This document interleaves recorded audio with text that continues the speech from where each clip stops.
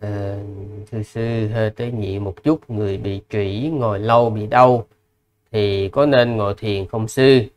Nếu do bị trĩ đau không ngồi thiền được có phương pháp nào khác để đạt chánh niệm và chánh định không? À, đối với những vị nào mà có ờ, theo dõi à, những cái buổi mà hướng dẫn thiền của sư đó thì sư nói luôn nói như thế này rất nhiều người họ sai lầm một chuyện, đó là chỉ có ngồi thì họ mới thiền. Còn ngoài ra không ngồi là họ không chịu thiền.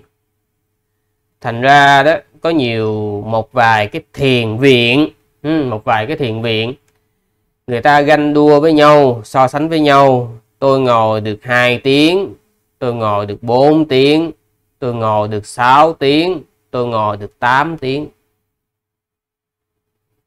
và họ chỉ quan trọng cái thời ngồi thiền. Trong khi đó những oai nghi còn lại nó nằm ở chỗ nào ha?